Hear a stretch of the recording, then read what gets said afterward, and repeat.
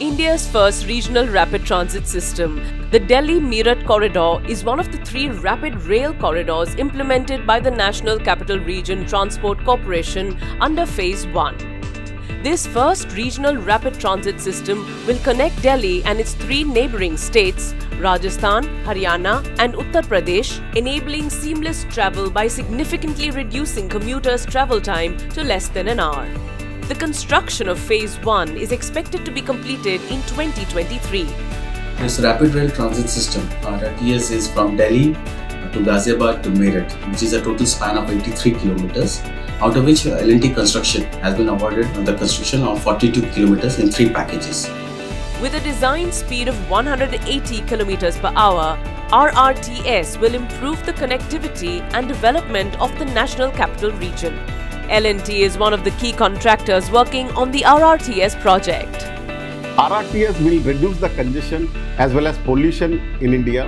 With multimodal as its core, the construction of the first corridor came up with its unique challenges.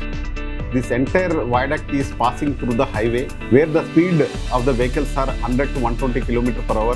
This is the major challenge what we are facing. This timeline for the project is to complete around uh, 30 months to meet the challenges of manpower, timeline, and a strong foothold to withstand the speed, the right material with the right strength was required.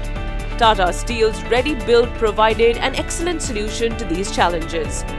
Ready Build uh, stands for Ready to Use Rebar. Ready Build has many advantages. It has a 7-0 advantage.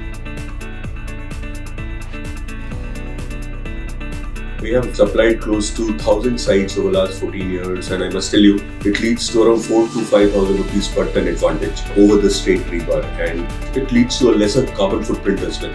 Many companies have now understood this and have adopted it very well. Uh, see, as far as Tata's name is concerned, you know, quality is, uh, they are the one who never compromises. Perfectly as a customer, we are fully satisfied with their quality. Tata Steel, with its customized ReadyBuild solution, not only supports large construction companies but also fosters the work of smaller entities. We offer an entire bouquet of services for our smaller customers who buy 100, 150, 200 tons. So that's the advantage of dealing with Tata Steel, where we handle you end to end rather than just supplying a straight rebar.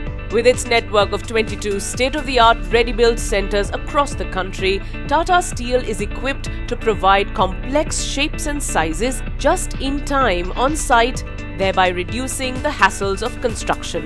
To supply ReadyBuild, we have around 15 to 16 yards. It is there in almost all uh, state capitals.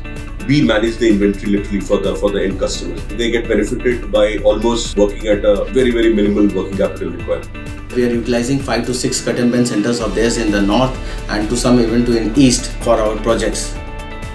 Supplying material just in time is a challenging task, but thanks to its unique features, Tata Steel has developed a new supply chain model to assure customer satisfaction.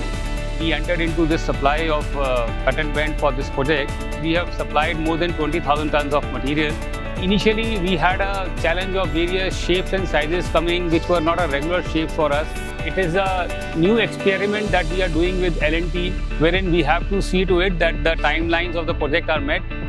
Dedicated to the creation of unbreakable structures, Tata Steel has made a considerable contribution to the RRTS project.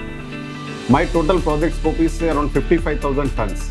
This ReadyBuild has supported me in timely delivery of the reinforcement at the location where we need to construct the metro pillars.